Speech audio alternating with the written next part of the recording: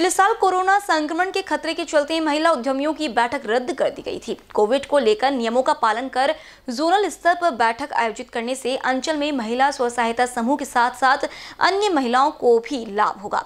महिला एवं बाल कल्याण समिति की अध्यक्ष दिव्या धुर्ने ने निर्देश दिया कि महिला उद्यमिता मेले के आयोजन के लिए जोनल स्तर पर कार्रवाई की जाए। विभिन्न मुद्दों पर डॉक्टर पंजाब राव देशमुख स्मृति स्थायी समिति की हाल ही में गुरुवार को महिला एवं बाल कल्याण समिति की बैठक हुई। बैठक में समिति अध्यक्ष दिव्या धुर्डे, उपाध्यक्ष अर्चना पाठक सदस्य प्रणीता शाहणे, मंगला लांजेवार, सोनाली कड्डू, उपायुक्त राजेश भगत, सामाजिक विकास अधिकारी दिनकर उमरेडकर नगर अभियान प्रबंधक विनय त्रिकोलवार उपस्थित थे। बैठक में ऑनलाइन के माध्यम से समिति सदस्य रूपाली ठाकुर, निरंजना पाटिल, उज्ज्वला शर्मा सहायक आयुक्त अशोक पाटिल, गणेश राठौर उपस्थित थे। उपायुक्त राजेश भगत ने समिति को बताया कि जोनल स्तर पर महिला उद्यमी बैठक के आयोजन पर प्रशासन सभी अंचलों को पत्र भेजकर उनकी राय मांगेगा।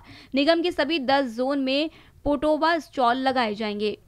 महिला स्व सहायता समूह के सशक्तिकरण के लिए यह परियोजना महत्वपूर्ण है और समिति ने सभी जोनों में जगह का निरीक्षण किया है। महिला एवं बाल कल्याण समिति के अध्यक्षों ने निरीक्षण किए गए स्थानों पर पोटोवा के स्टॉल जल्द से जल्द कार्य करना सुनिश्चित करने के लिए आवश्यक कार्रवाई करने के निर्देश दिए। निगम मुख्यालय में बास पोटोवा स्टॉल लगाया गया है। उन्होंने स्टॉल की मरम्मत के लिए कार्रवाई करने के भी निर्देश दिए। समिति अध्यक्षों ने नगर निगम द्वारा सड़क पर चलने वाले बच्चों के सर्वेक्षण की समीक्षा की। दो हज़ार सत्रह में सामाजिक विकास विभाग ने एक निजी कंपनी के माध्यम से शहर की सड़कों पर रहने वाले 1218 बच्चों का सर्वेक्षण किया। सर्वेक्षण किए गए बच्चों की सूची नगर शिक्षा विभाग, स्वास्थ्य विभाग और पुलिस को सौंप दी गई है ताकि यह सुनिश्चित किया जा सके कि सर्वेक्षण किए गए बच्चों को शिक्षा मिले, अपराध की ओर ना बढ़े और उनकी स्वास्थ्य समस्याओं का समाधान करे। केंद्र सरकार नागपुर शहर समेत देश में भिकारियों के लिए दस स्कूल शुरू करेगी। इस संबंध में अपर आयुक्त की अध्यक्षता में एक कमेटी का गठन किया गया है जिसके माध्यम से भिखारियों का सर्वे किया जाएगा।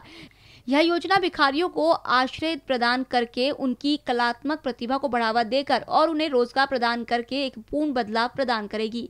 पहले चरण में नागपुर शहर में एक शेल्टर स्थापित किया जाएगा और शहर के घाट रोड पर एक साइट की पहचान की गई है।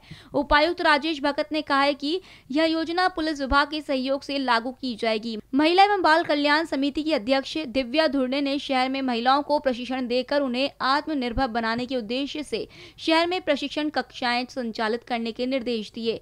नगर मिशन प्रबंधक विनय त्रिकोलवार ने बताया कि राष्ट्रीय शहरी आजीविका मिशन के तहत 18 से 45 वर्ष की आयु वर्ग की महिलाओं को प्रशिक्षण देकर स्वरोजगार के लिए सशक्त बनाया जा रहा है। स्पीकर दिव्या धुड़ानी ने इस संबंध में जोनल स्तर पर कार्रवाई करने के निर्देश दिए हैं। इन बीसीएन के लिए अखिलेश भारद्वाज की रिपोर्ट।